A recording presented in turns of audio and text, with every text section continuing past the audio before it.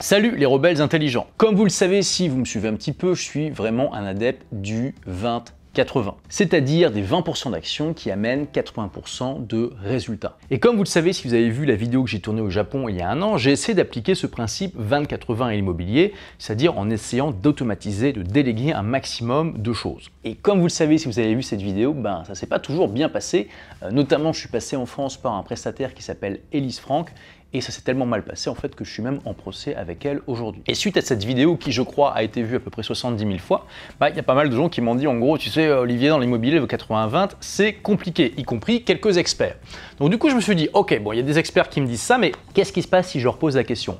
Si je demande à des experts immobiliers quelle est d'après toi la manière la plus simple, la plus efficace, la plus libre de prise de tête pour investir dans l'immobilier de manière efficace à horizon long terme. Hein. donc euh, j'ai dit 20-30 ans. Et donc j'ai envoyé un email à plusieurs de ces experts qui m'ont gentiment répondu. Donc je vais vous partager leur réponse et ça va aussi être une vidéo interactive. Si vous aussi vous avez une stratégie pour investir dans l'immobilier de la façon la plus libre de prise de tête possible, à l'horizon 20-30 euh, ans, eh bien partagez-la dans les commentaires, ça sera très intéressant. Donc je commence par Yann Darwin que vous connaissez peut-être, qui a une chaîne YouTube notamment sur l'immobilier et qui me dit donc tu sais, mon credo maintenant, c'est maintenant, pas dans 20 ans, mais je me prête à l'exercice avec plaisir. Il me dit attention par contre, disclaimer, qu'on soit bien clair, je vais parler de stratégie de, diversification et non pas de primo-investissement. C'est-à-dire en gros qu'il ne recommande pas d'appliquer la stratégie là qu'il va partager euh, en premier. Vous devez d'abord investir en l'immobilier classique. Si on parle à l'horizon long, très long terme, c'est-à-dire 20 ou 30 ans et que la priorité numéro 1 est l'ultime passivité, pour le meilleur rapport risque temps ROI à cet horizon de temps, je choisirai des actifs avec gros potentiel de hausse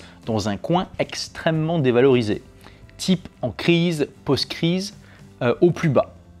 Alors, triple checklist avant de se lancer dans un plan comme ça. 1. Une croissance démographique bien orientée sur le secteur.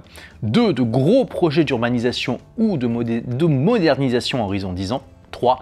Une fiscalité basse ou optimisée grâce à des dispositifs spécifiques ou inexistants, en suivant euh, la, la chose choisie. Donc, fiscalité inexistante. Donc, il dit voilà pourquoi. 1. Tous les marchés connaissent des cycles plus ou moins longs. Miser sur des actifs extrêmement sous-valorisés est un bon pari pour maximiser son retour sur investissement sur des horizons de temps aussi vastes. Tu peux aussi acheter beaucoup plus pour pas cher et maximiser la revente. Tu délègues toute la gestion car leur rentabilité immédiate n'est pas, pour une fois, ta priorité. Pour les biens loués, louables, euh, l'objectif est à peine d'être à l'équilibre pendant le temps de détention. Pour un plus gros potentiel, si tu acceptes un niveau de risque supérieur et que tu n'as pas besoin de cash, tu peux viser des biens très peu liquides de type terrain nu, bien en ruine, zone non constructible, zone à urbaniser. Dans bien des coins, on peut acheter beaucoup pour vraiment peu cher. Et ensuite, tu attends longtemps. Hein, voilà, et donc là, dit en parenthèse, ça te laissera le temps de voyager. Il dit euh, quelques exemples pour bien comprendre. Achat en 2009 au pire des subprimes, revente 10 ans plus tard. Achat en 2010 en Espagne. Achat en 2011-2012 en Grèce et Portugal.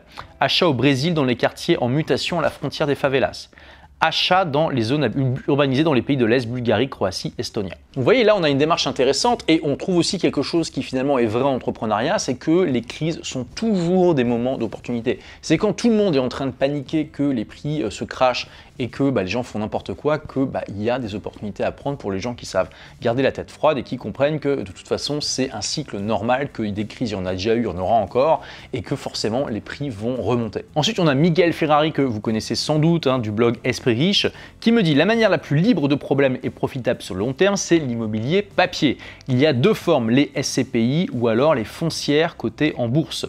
Selon l'IEIF, les foncières cotées en, France ont un rendement sur 20 ans de 13,5%. Alors quand j'ai vu ça, je me suis dit que c'était quand même assez énorme, parce que 13% c'est vraiment énorme. Je lui ai demandé euh, ses sources, donc il me les a données, je vous ai mis euh, le lien là juste en dessous. Donc là, clairement, euh, Michael recommande d'investir dans l'immobilier papier, c'est-à-dire de plutôt de vous embêter vous-même à faire les choses, vous prenez des actions dans des entreprises qui, euh, bah, dont le, métier est d'investir dans l'immobilier. Donc effectivement, du coup, bah, vous n'avez plus aucun problème, comme il le dit. L'avantage essentiel, c'est zéro gestion, zéro temps, zéro problème, tout en ayant un rendement indexé sur l'inflation. Donc là, c'est similaire à investir dans des trackers. Si vous ne savez pas ce que c'est un tracker, bah, cliquez euh, ici là sur la fiche en haut à droite pour aller voir la vidéo qui en parle.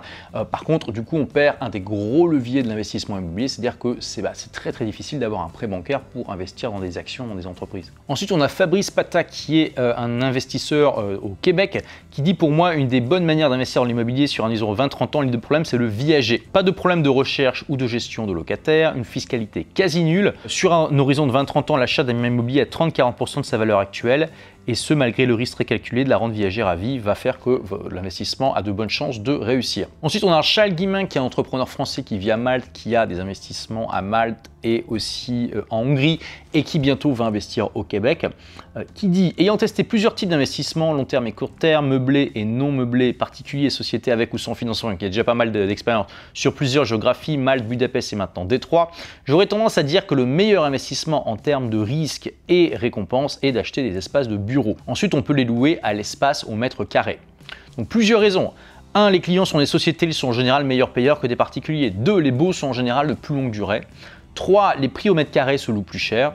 4. Quasiment aucune gestion locative, on vérifie juste la réception des paiements. 5. Moins de maintenance, pas de problème avec les cuisines, les salles de bain. Selon les pays, il est parfois possible de transformer les bureaux plus tard comme logement, au cas où la demande en bureau se réduise, ou pourquoi pas faire du Airbnb pour booster la rentabilité. Mais dans ce cas, il faut absolument confier un gestionnaire pour que ça ne devienne pas chronophage. Après, si on veut aller encore plus loin dans le raisonnement, je pense qu'investir dans des terrains est encore moins chronophage. On achète le terrain et on le loue. Le locataire a l'entière responsabilité. Donc là, on a Florian qui est aussi un investisseur au Québec. Donc là, en fait, j'avais aussi posé la question dans mon euh, mini mastermind immobilier au Québec. Et du coup, il y a eu des discussions euh, entre, les membres. Donc Florian qui dit effectivement la location de terrain nu est quelque chose de très peu prenant et à la fois très rentable sur le long terme. Je suis d'accord avec Yann lorsqu'il dit qu'il faut acheter dans des zones à urbaniser avec Charles pour la location de bureau. Le croisement de ces deux approches peut être très intéressant avec l'exploitation de terrains nus dans des zones à urbaniser. Par exemple, j'ai acheté un terrain de 1000 m2 à Kribi au Cameroun, hein, il faut savoir que Florian est camerounais, qui est en train de devenir la plus grande zone portuaire en Afrique francophone. Pour y construire des logements que je louerai des entreprises pour y loger leurs salariés. Il y a beaucoup d'entreprises étrangères comme Bolloré, Total, EDF ou encore des sociétés chinoises qui s'implantent dans la ville, ce qui dynamise la zone d'un point de vue démographique et économique. Le prix au mètre carré a pratiquement doublé en moins d'un an dans la zone et les terrains commencent à se faire rares. Beaucoup de particuliers proposent ainsi leurs terrains nus en location à des sociétés étrangères, qui exploiteront les terrains comme ils veulent en contrepartie d'un loyer. Généralement, les sociétés paient 1 à 3 ans de loyer en avance. Waouh Ça, c'est quand même pas mal. Ce qui peut permettre d'avoir un bon fonds de trésorerie dès les débuts de la location. Bolloré loue des terrains à Kribi, des particuliers pour ses entrepôts. La chaîne hôtelière Pullman loue également un terrain à Kribi pour y construire un hôtel. Et ensuite, on a donc Dan Sonafuo, qui est également un membre du Mastermind immobilier euh, au Québec, qui dit la façon la moins risquée d'investir me semble d'investir dans ce qu'on connaît le mieux et de s'ajuster en fonction des imprévus qui arriveront en cours de route. On a déjà assez mal avec ce qu'on connaît, pourquoi s'embarquer dans ce qu'on connaît pas? L'immobilier, c'est le secteur. En achetant, j'achète un type de locataire. Est-ce que je veux courir chaque mois après les loyers? Est-ce que je veux un bien dans une zone inondable ou sécuritaire pour, lesquels, euh, chaque fois, lequel chaque fois on va m'appeler pour les réparations, les insectes et les animaux nuisibles? Pour une personne patiente, et en investissement, il vaut mieux l'être, euh, je lui suggérerais d'investir dans un bien en bon état, pas de rénovation majeure à court terme, avec de bons locataires dans un bon secteur.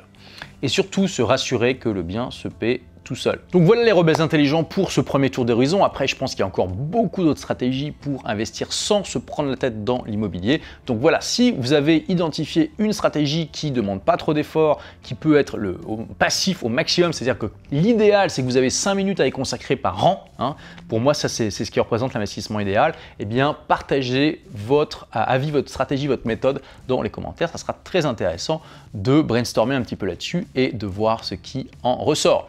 Merci Merci d'avoir regardé cette vidéo. En complément, bah, vous pouvez aller voir euh, cette vidéo supplémentaire. Et puis, n'oubliez pas de cliquer sur le bouton qui va bien pour vous abonner à la chaîne et louper aucune des prochaines vidéos.